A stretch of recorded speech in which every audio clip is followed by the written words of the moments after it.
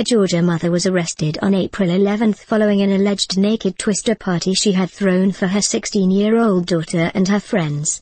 Rachel Lynn Laylett, 35, of Evans, Georgia, divulged the details of the party to her Alcoholics Anonymous sponsor during a meeting to discuss her sobriety plan.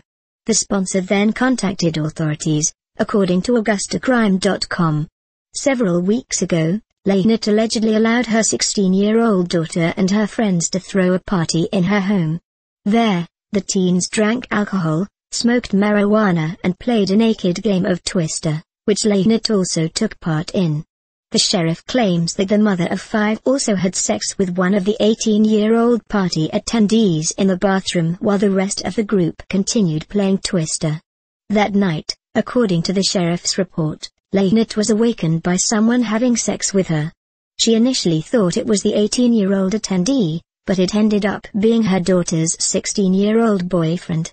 She was charged on Monday with two counts of contributing to the delinquency of a minor for providing alcohol and marijuana and was released from jail after posting a $3,200 bond, the Augusta Chronicle reports.